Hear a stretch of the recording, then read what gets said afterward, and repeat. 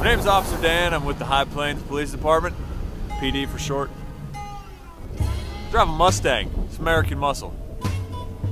It's built for speed. What's your favorite part about that car? Everything. What? How fast can you go on that thing? As fast as I want.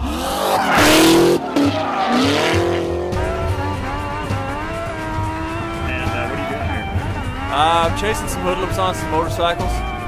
They've been uh, causing a ruckus and, and general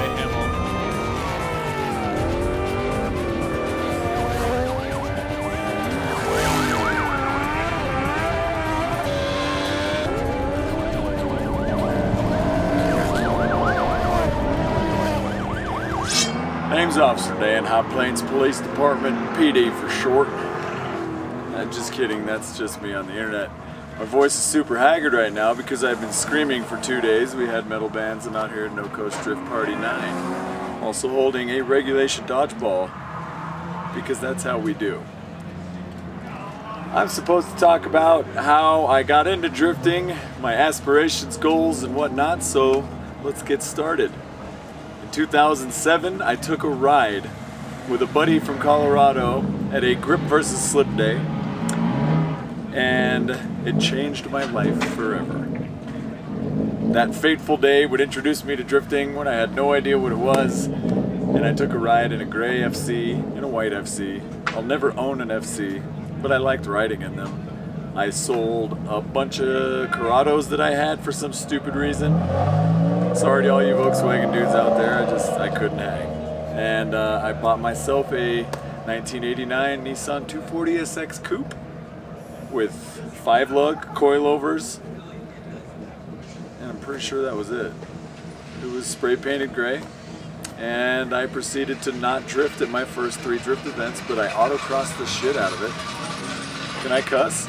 Does it matter? No, no, we don't care. Okay. Um, I learned and I practiced a bunch and I got better and my car dynoed 94 horsepower. So I was really up there in the horsepower game.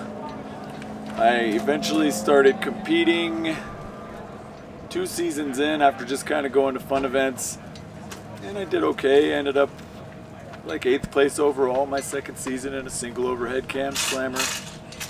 And then we decided it'd be a good idea to swap an RB into it, which would turn into a very bad idea in the future. Once we swapped the RB in, we had it at stock horsepower levels and it was fantastic. I loved having horsepower. I loved being able to go fast and I actually started doing much better in the competitions, ended up winning our local competitions uh, two seasons in a row. And then uh, the same thing that happened to me happened to a good guy from here named Jim Guthrie. He owns uh, a very large body shop here called Car Crafters. And he's a very successful man, self-made, wonderful dude. Anyway, he is a, or was, on the board of directors that runs this here racetrack that we're sitting at right now. Jim uh, was out at one of my events that I had started running around 2010 and decided that he would take a ride with me. And the same thing happened to him. He got into drifting that day, got on eBay, ordered a freaking RX-7 with a V8 in it. Jim's crazy. Love Jim. Jim's amazing. And then Jim does one of my events and says, hey, let's go do Pro-Am. And I was like, what? I don't think I'm ready for Pro-Am. And we did. We did a, a full season of Pro-Am, and then Jim went straight into FD. Jim's an ex-Indy driver. He had his license for that. And hey, thanks. He uh, he petitioned his way in, got in, did FD, and that's a whole different story. But that's the reason why I got to go do competitive Pro-Am drifting. I did both Vegas Drift and I did Top Drift in one season, and it was a little bit much. It was like eight events, and it killed me, and I had a full-time job. And I was like, wow, all right. I ended up getting like eighth place overall at Top Drift, and I wasn't even in the top 20 at Vegas Drift because I kept breaking stuff. Also a theme of my life. The next year, I decided to do Pro-Am again, kind of more on my own, because Jim was doing FD, so I just did Pro-Am. Ended up getting second place overall uh, behind Forrest Wang. No, wait, it wasn't Forrest Wang. Luke Pacula. So I ended up getting second place overall at Top Drift behind Luke Pacula. Um, it was a really close battle all season, and he just inked me out by like four points. So I'll take second. Got a trophy, got my FD license. Um, took a year off and kind of got my ducks in a row. Took out my 401k. Got fired from my job that I'd had for eight years working for T-Mobile and decided to become a professional race car driver. Do you think that was a wise idea? Absolutely not. no, I'm just kidding. It was actually the best decision I've ever made. Um, so this would be 2013 when I got fired from T-Mobile for a, uh, they said lack of communication. It was because I, I was a little over passionate. Um, but anyway, I threw everything that I had at becoming a professional race car driver. So in 2014, I ran my first full season of Pro 1 and Pro 2 because that was the first year that Pro 2 was around. So I did both, and that was pretty rough and very expensive. Um, what else in that year? Didn't you do the motorcycle drifting thing during that time too? Yeah, too? so that's going to be kind of, I'm going to do an aside on that one. So this is just my professional drifting career, I guess you could call professional drifting career. Um, competitive drifting career, let's call it competitive. Um, so 2014, uh, I threw everything at doing Formula Drift. The 401k funded that whole season. Credit cards funded my whole next season. Um, I didn't do very well. I literally broke the car at every single round for multitudes of reasons. It was never the same thing. I got taken out of Formula D Texas because of a 79 cent shifter bushing. it was just little things like that. You know, they hold you down. I, I, I like to think that Formula D was my college tuition because it really opened a lot of doors for me in other places. So, second season of Pro 2 goes by. I am completely broke at this point. I am not doing well at all. Again, breaking the car every round. Drove all the way to Seattle and blew my engine. First lap out. Killed it though. Made more smoke than anybody because it was all engine smoke. Features, man. You gotta put the positive on things. David Carey snapped this photo of me, um, and it's just billowing smoke, like the thickest smoke you've ever seen. And it looks on full angle and full tilt, and then like just over the very back of the car, you can see just a little bit of blue smoke, and that's the tire smoke. the rest of it was coming from the engine. So whoever was behind me on that run, I apologize. I probably covered you in oil. Um, so anyway, finished that. Um, decided that renewing my pro license and my dreams of being a pro driver were probably dashed at this point because I obviously wasn't very good at it, and that's okay. Not everybody's cut out for it. I don't think I'm disciplined enough to do Formula D, so I think that plays a lot into it. Um, but what I think of it as is college tuition. Like I said, it allowed me to get into actual money making in cars by becoming a stunt driver for the movies and TV industry. And that was because of a Craigslist ad that I responded to whilst doing Pro 2 in 2015. Um, I was an extra on a show called Manhattan, and I was like dude pushing mail cart through room number three, and guy picking up briefcase in hallway, and guys standing on corner holding a cigarette. Those were my jobs on set, but I couldn't hold a real job. It's like, hey, can I take off two weeks every two weeks? Is that cool? Nobody would do that. So anyway, I got on set. Um, the very end of that season, there was a scene where one of the main actors was supposed to drive up a hill and stop a Jeep, an old World War II Jeep. And he kindly explained to the director right at the very end that I can't drive manual transmissions. And word had gotten out that I was a driver, and one of the hair and makeup ladies was like, he's a professional driver, let him do it. So I got to meet the stunt coordinator for the show who pulled me aside and said, hey man, if you mess this up, I'm gonna kick your ass. And you will never work on this set again. So I was like, oh, alright. All I need you to do is go up to the top of this hill and stop on a mark. Okay. So I did it. I did it twice. He pulled me aside. He said, So you're a professional driver? I said, Technically, I'm a professional driver. At this point, I still had my license and I went to the events. I just didn't do much driving. So technically, you weren't lying. Yeah, I, I, I, slept a lot in the lines at FD, and I, I did some practice laps a few times, and I qualified like three times total in two years. Um, but having that on my resume when I gave it to this stunt coordinator, who I had no idea what he did or why he did things, and so on and so forth, and he was like, "All right, I got your information." Um, Give me a little bit of time, and I will get you onto a movie um, or a TV show or whatever. And I was like, I don't even know what that means, but cool, man. It was it was awesome. Because to be in movies or TV as a stunt performer, you have to be in the Screen Actors Guild, which is SAG. I didn't know any of this at the time. Um, so a year goes by, and Al, which is the stunt coordinator, calls me up and says, "Hey, man, I think I got you on a show for three days. Um, you're going to be driving a van down a dirt road, and you're going to get shot in the head by Tommy Lee Jones, and Morgan Freeman is going to shoot the gun out of your hand. And I'm like, huh, I don't know how to do any. The driving stuff, cool. Let's make that happen. I've never been shot in the head before. I'm sorry. That's kind of weird. I don't know. I so I literally practiced taking bullet hits until I couldn't move my neck, and I only had like two days to practice because that's when he got me on the show. Um, we did the scene. I had to take the bullet hit and fall backwards out of a chair into a stove. And that movie was called Just Getting Started. Horrible movie. Do not go see it. But if you want to see me fall backwards over a chair and do some driving down a dirt road, you can watch it. It has a 5% on Rotten Tomatoes. but my name is in the credits, and I'm literally the first name in the credits. So it's really cool to see my name in the credits in the actual movie. So anyway, Formula D transitioned into me being a stunt driver, which is awesome. So I was doing stunts all this week. I was on a commercial. I was on a show called Army of the Dead out here. It's awesome, and I love it. So now I can kind of consider that my. Yeah. Where did it cut off? Uh, like right, like probably like five seconds before I, I said something. Okay.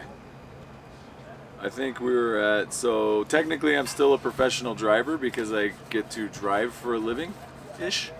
Um, I also, from a sponsor of mine during Formula D, I am now the USA warehouse and distributor for a company called GK Tech that makes 240SX parts.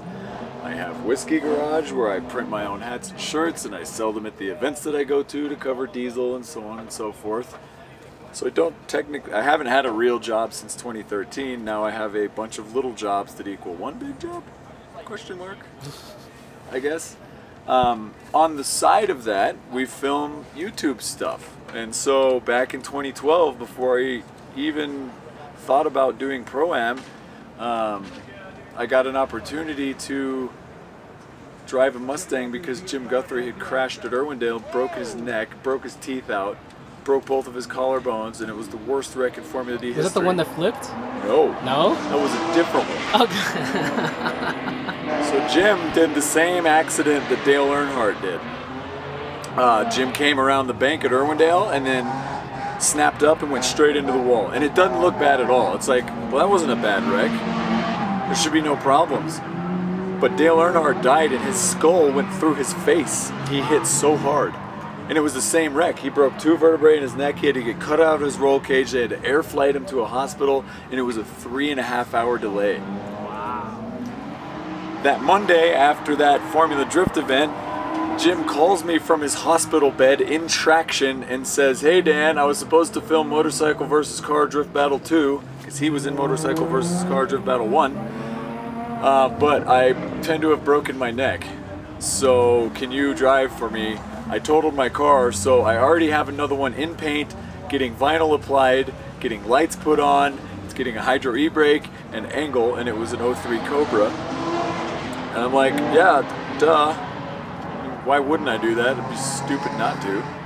And that very next week, we drove our happy asses up to Oregon and we started filming at or- Oregon Motorsports Park, I think it was called. It was literally the funnest track that I've ever driven. Wait, so that thing was a track? I thought that was like The a, first, the first, part- oh my God, thank you. I don't even know how he knew I was thirsty, but he knew I was thirsty. Um, so we went out and filmed at Oregon Motorsports Park. There was only literally one clip of me drifting, but I drove that entire day in my 240. We brought both cars with us because I'd never driven the Mustang before, and I was wanting to learn roads and do stuff in the 240 first. So played all day while they were filming all the external stuff around the track and coming up to the gates and doing all that. And I just had free reign for like four and a half hours driving my 240 on this amazing track. It's got this section called the half pipe that kind of goes up a hill, down, up a hill, and then up over a blind crest. And you could initiate so hard you would start to feel kind of faint because of the G-forces. You just chuck in and just be like, oh, oh. And then you'd be like, yeah, that was good. so that was awesome. So that's Oregon Motorsports Park. We did filming all day there. The next day we went into northern Washington, or southern Washington, right across the river to a place called Maryhill Loops Road. On Maryhill Loops Road, which is that epic winding pavement, it's literally owned by a museum and it goes nowhere. It just goes and up into a gravel parking lot. So it's not a public road. They rented it out. We shot there for three days. I broke two axles on the Mustang. I broke at least four or five GoPros. Very end of that video, I flipped my 240SX off the side of an 8 foot hill with Ernie Vigil, one of the stunt bikers, in the passenger seat. Um, because I was used to driving in the Mustang and I'd done that turn literally 150 times on 295s. Jumped back into my car on 245s and it didn't quite have the same grip. And I just went flying off the turn, flipped, my head went out the window because I'm a moron and I didn't tighten my belts all the way. And I like to tell people that I just gave it a little push and that's what flipped us back onto the wheels. Of course, that's not what happened. Hit my head on the roll cage on the way back in, got a concussion, immediately went into a Russian accent and started talking about holy fuck balls, we done flipped it. it was an interesting situation to be in.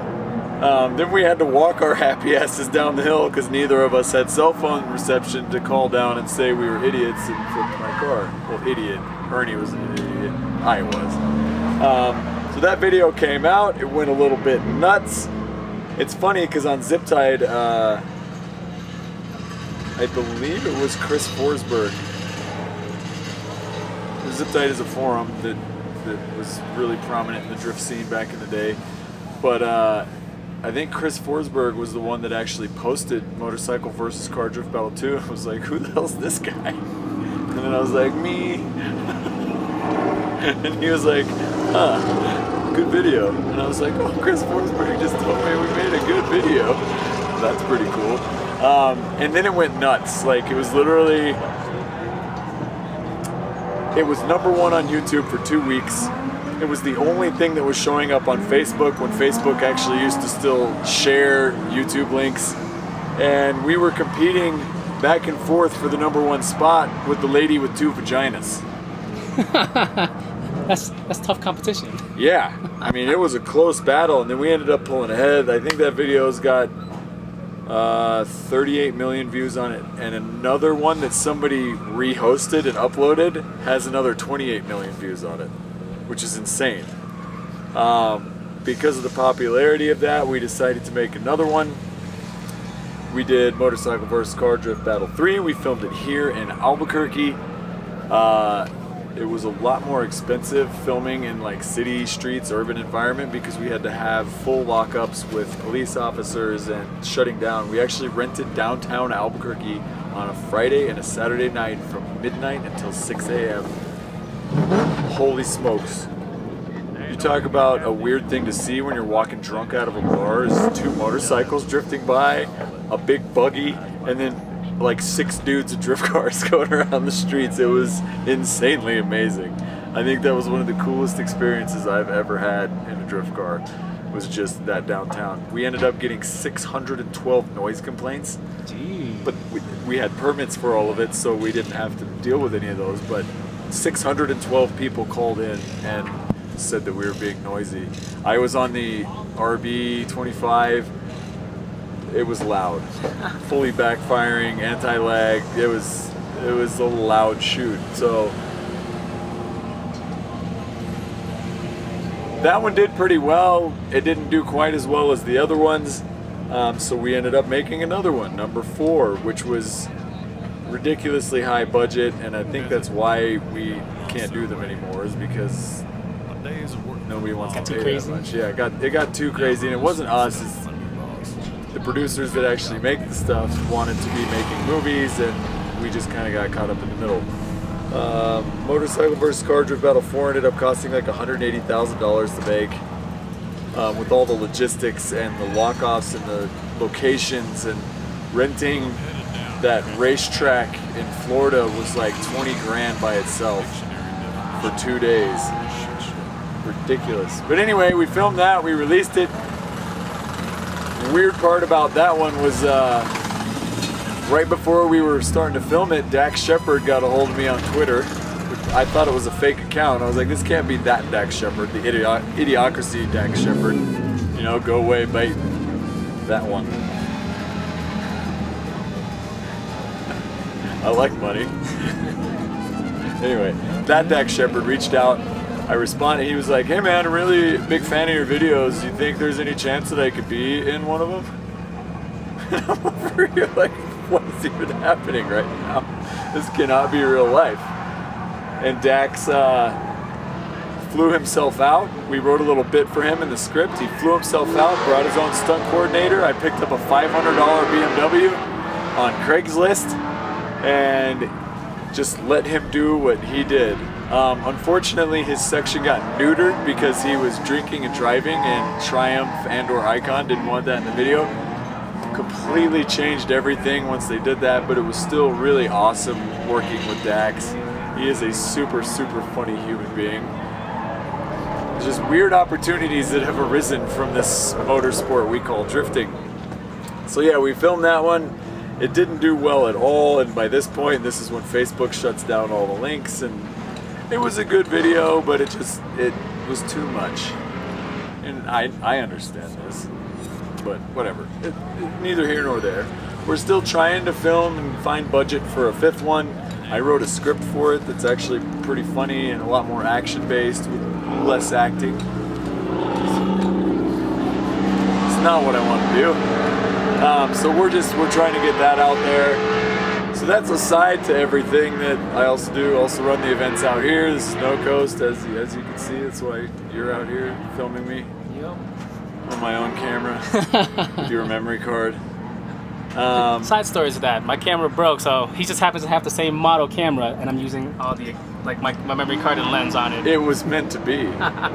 it was meant to be. Currently, what I'm doing with drifting is uh, not drifting a lot. The past like years of not doing FD, I've had this professional grade car that I've literally driven like twice. Um, I had an adapter issue with my transmission and it blew up and basically totaled my entire car.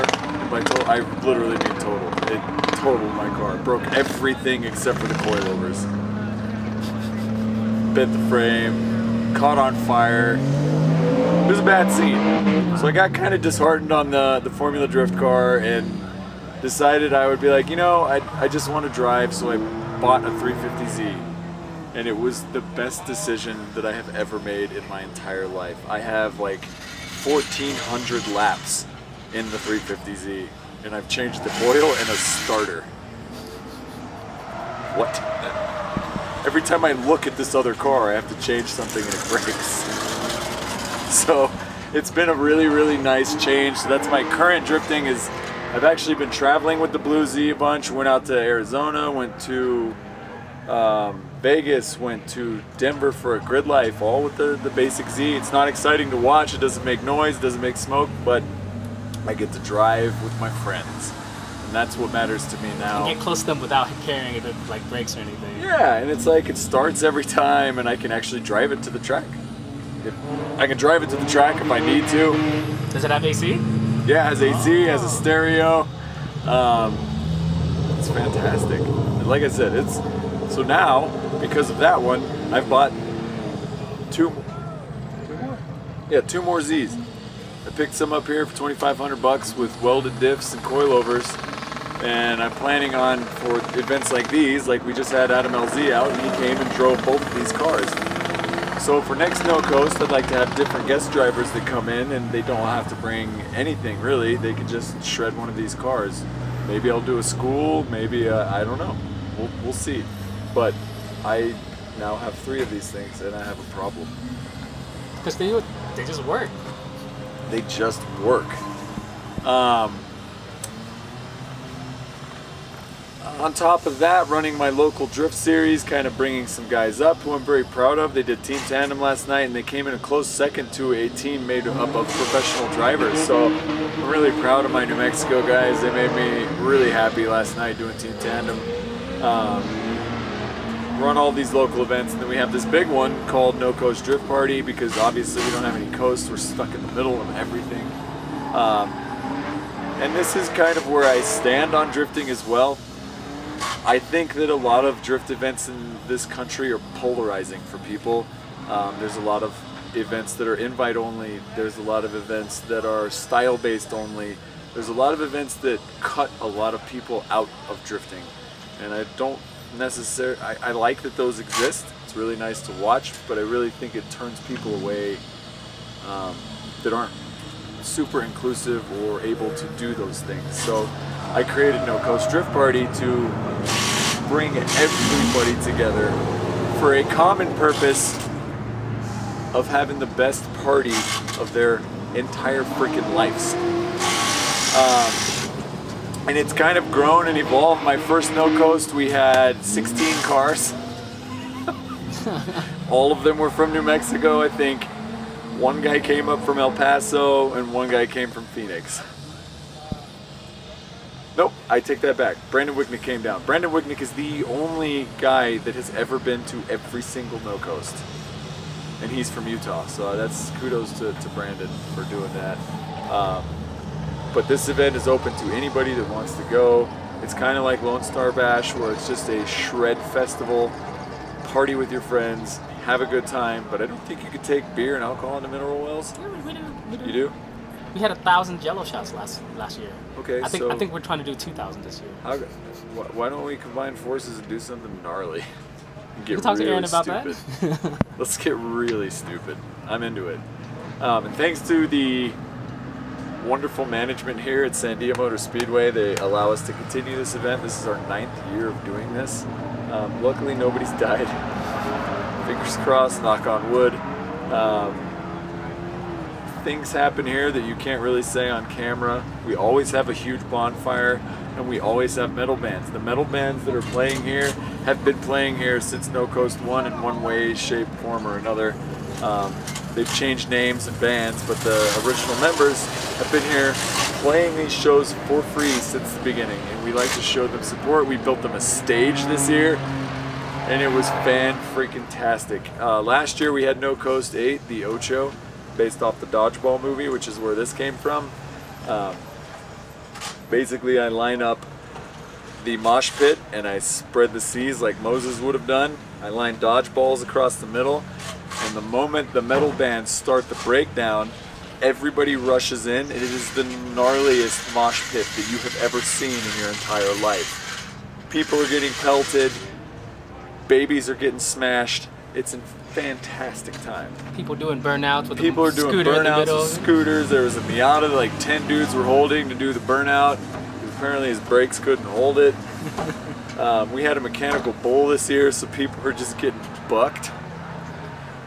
Um, and all this happens immediately after the drifting stops, and then the party doesn't really stop until like four or five in the morning. Um, it's it's a pretty insane time. So that's my current drift status. My future drift status. Wait, what about your tire review things? I, I saw. Yeah, yeah, I saw yeah. you doing that. Got it. So uh, I also do a few things on YouTube. I ain't out here trying to be Adam LZ. I don't want that. But I like to be helpful. I make how-to videos for GK Tech stuff. I also review tires with the Z out here on our track. So it's the same laps over and over and over again. And I think it's a really good gauge as to what cheap tires will really work and get you the most seat time that you could possibly do. I also recently started a series that I'm doing called A Scotch and a Beer with Officer Dan, which basically regales everything that I just went over into a 30, 25 to 30 minute episode where I also drink a scotch and a beer. So it's a little more classy. Um, Except here, he's just drinking coconut water. yeah, I'm here drinking. I'm just reco- I'm in recovery mode right now. If I had a whiskey, I would just throw up all over everything. Um, but I have those, and that's a very in-depth dive into my history. Each episode covers a specific event, or season, or happening, or motorcycle. I just released the one where I just became Officer Dan. We also funny story, we did the redneck version, we also filmed the Russian version. So if you want to see Russian Officer Dan, sick! so if you want to see Russian Officer Dan, go check out the Scotch and Beer videos. Uh, they're all on the YouTubes. Um, so I got that going as well. Got a pretty full plate now that I think about it. Future plans for drifting for old Officer Dan include more of the same.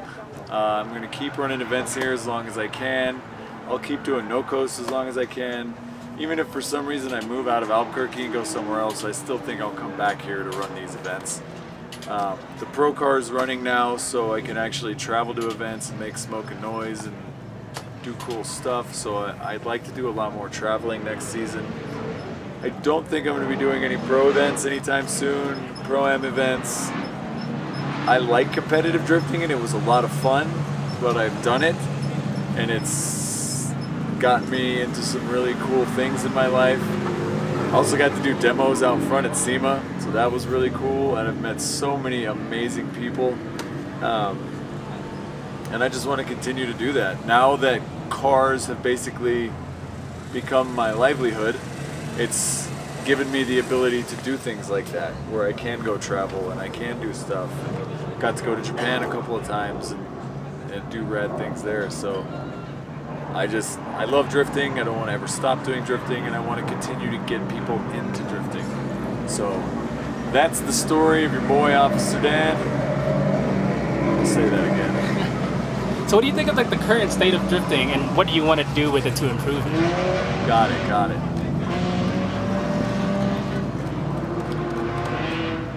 So again, current state of drifting, um, I still think that it's growing and that's obvious. We had our highest car turnout here ever, which was like 128 cars. So nine years ago when I started this event, we had 16 and now there's a 128 cars here. Probably 1,500 spectators came out to watch. Um, it's continuously growing. Even my local events, our average car count this year has gone up from three to four cars. Now we're at 20 to 25 cars, and Albuquerque is a tiny city relative to a lot of other places. So I, I think the current state of drifting is fantastic. I think that it's growing. I think that people are still into it. Um, professional drifting is always going to be professional drifting. It's a completely different level. It's a completely different ball game. It's fun to watch. Like I said, I wasn't good at it, but I, I watch every single live stream when it works. Shots fired. um, but without Formula Drift, I know a lot of people hate Formula D and they're like, this sucks, and those guys suck, and this money sucks, and those guys are rich. And, um, if Formula D wasn't there, there's nothing really to attain to. There's no big brother to kind of have these little events where people are mimicking what the guys in Formula D are doing. So I think Formula D just needs to keep doing what Formula D does. Just having really, really fast, really, really cool cars and good driving. Um, and then that trickles down to all of us at events.